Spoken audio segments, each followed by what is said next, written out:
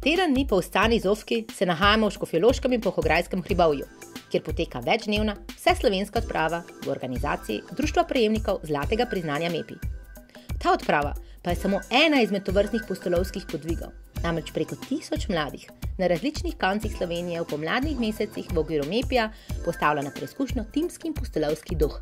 Noč malo bomo hodili, pa vmes bomo malo bajte pogledali, po moje. pa se bomo pa ustalili, taborili, postavili šater, pa malo pojedali. Prej, prej greš na odpravo, v bistvu moč narediti tok pa tok ur treningov. Um, pa v bistvu pač tudi priprave une, ki se pač naučiš, kva moraš vse vzeti s sabo, pa pač kako spakirati prvo pomoč. Um. Treba si je pač razporediti čas, poti, pa pač, da, ne, da ne narediš en dan veliko več kilometrov kot drugi dan, ne, da nekako razporediš to. Pa kako si pripraviti sploh na hrbnik, da ne bo pretežek, da si neke samo osnovne stvari daš not. Novo mi je spati v naravi, ker sem zelo zmrznjena in mi to zelo novo. Prej pač nisem nikoli tako sama spala še torej ali pa s prijatelji, smo pa že z družino spali, pa tudi tako veliko nisem še hodila, ampak ja, je nekaj novega. Zdaj smo se uspeli na Križno goro in um, smo kar na prej, kot smo pričakovali, da bomo gor, tako da je bil tak za, za, za zjutraj zahteven uspon. smo na cilju prvega dne, uh, imamo se pač fajn že cel dan, uh, sicer smo nekajkrat zašli iz poti, uh, vse je bilo načrtno, pač, uh, uh, smo planirali, da bomo uh, bližnjice obirali. Uh, malo smo bili vmes mokri, malo zmatrani, ampak smo nadaljevali do 18. Zdaj postavljamo šotor, prijem bo dež začel. Če uh, pogledamo prejšnji dan, pa današnji, po pričakovanjih bomo tudi jutri kam zavili, še malo posujeno. Uh, mogoče nam malo zemljevid šepa, pa najdemo kakšno svojo potko. Zdaj pa enkrat je krajša, drugače bi še malo daljša. No, v programu MEPI mnogi mladi prav odprave predstavljajo največji izziv in pri katerem predvsem najdejo sebe. Preprosta, treba se znajti in pokazati ogromno trdne volje, truda in ustrajnosti.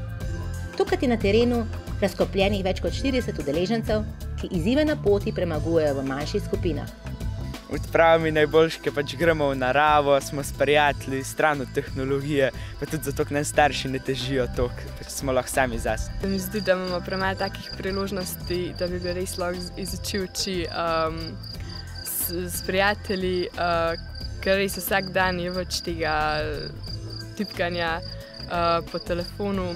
Pa tudi fajn je, ker pač se lahko sami znajdemo, da dokažemo, da se lahko že sami znajdemo, da smo že dosti stari, da ni treba tam uh, pomagati, pa da je pa to, pa ne moreš, pa ne znaš, pa ne te zadeve. Ja, pač dobro je, da smo samostojni, pa da pač imamo več svobode. Se mi zdi, da, um, da, da je današnja mladina uh, premaj samostojna. Um, pač zdi se mi, da preveč starši uh, se postavljajo za nas, mi ja, se moramo sami znajti je to pač dobra um, šolska ura za življenje. No. Naš skupinski duh je bil super, uh, se lahko znajdemo sami. Um, če smo v kakšni zadregi, se damo glave skupaj in se pogovorimo o tem, pol pa najdemo rešitev. Ker imamo dobre odnose, se dobro poznamo tudi in brez tega skupinskega duha ne vem, če bi nam to uspelo. Glede moje skupine sem bila zelo navdušena, ker smo se res zelo dobro razumeli, pa ni bilo nobenih konfliktov. Prvi bi prej se mi zdi najbolj to, ker se res začuti ta timski duh. Um, res to, da smo fulabra skupina, da si lahko pač med skupina, da si prijatelj, da si res lahko ti, no, take cike, ne, naprimer, pač ja, si, si drugi tudi lahko, ne, ampak te ne sprejmejo tako, kot čudaka, no. Prej se tako nismo družili z enimi um, od učencev pač v skupini in smo zdaj ugotovili, da so ful super, pa da se pač lahko dobro razumemo.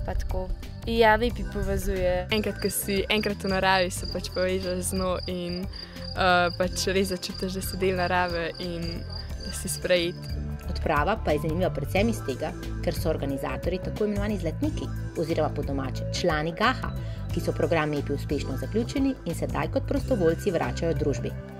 Z druge strani pa smo tu organizatori in pa spremljevalci MEPI odprav, ki prav tako spoznamo nove limite in na nek način ugotovimo, na kakšen način lahko zadevo še izboljšamo.